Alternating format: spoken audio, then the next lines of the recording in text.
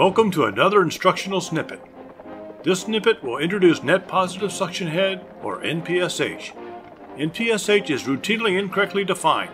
Its meaning in terms of pump cavitation is also misunderstood. All of this will be covered in this snippet. This snippet does not contain any worked out examples. Please see my other and upcoming instructional snippets for worked out examples. I hope you enjoy it.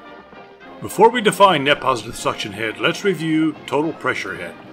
Total pressure head consists of three head terms the static pressure head, the velocity head, and the elevation head. Also note that at the defined datum, the point where z is equal to 0, the total pressure head is the same as the stagnation pressure head or just a stagnation head.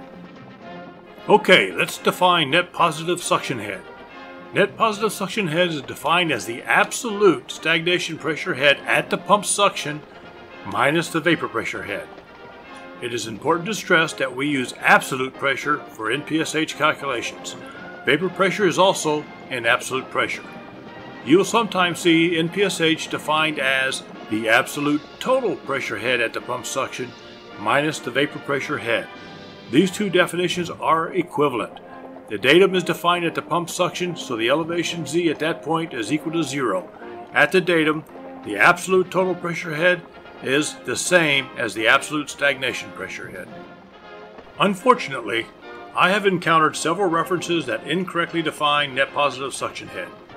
Instead of correctly using the absolute stagnation or absolute total pressure at the pump suction, they use the absolute static pressure. This is incorrect. The velocity head term may be small, but it is part of the net positive suction head equation.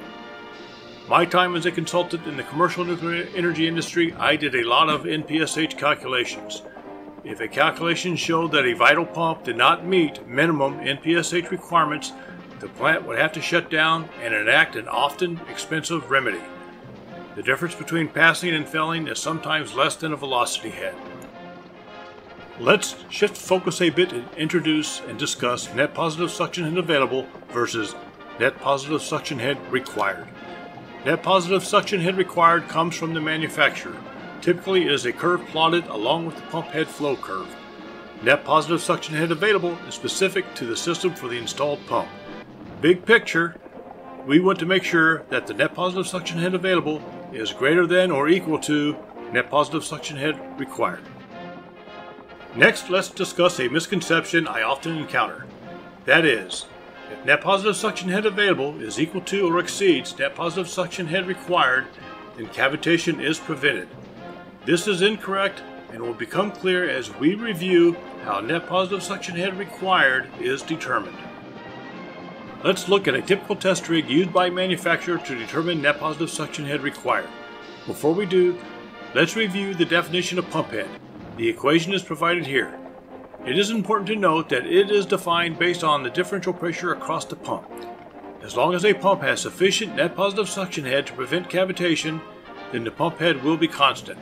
Understanding this is important to understand how net positive suction head required is determined. Now let's look at the test rig. A tank provides net positive suction head to the pump being tested. All piping losses, etc., are known, so the absolute stagnation pressure is known at the pump suction. A series of tests are conducted. A flow control valve maintains the same flow for each test. Each consecutive test has a lower water level in the tank. The pump head is measured for each test. A decrease in pump head indicates sufficient cavitation to degrade pump performance.